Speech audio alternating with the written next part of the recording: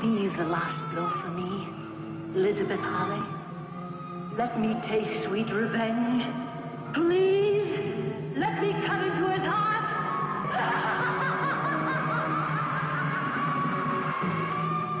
Behind dank walls, a nightmare world of horror and butchery awaits.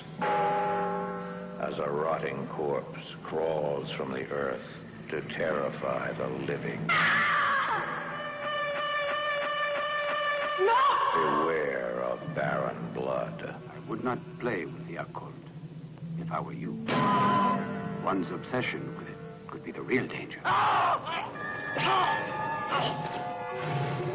Baron Blood. He earned his name through torture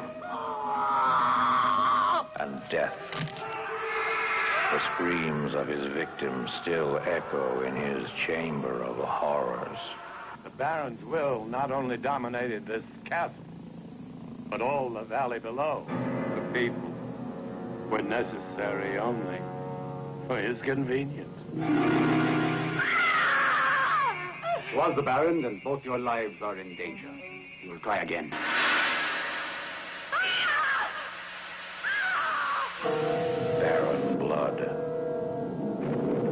Returns to avenge a witch's curse and reclaim his empire of evil.